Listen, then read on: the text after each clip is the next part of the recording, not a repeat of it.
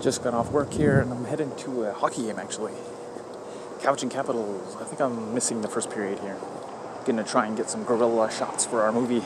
So I found Claire, but Dan left.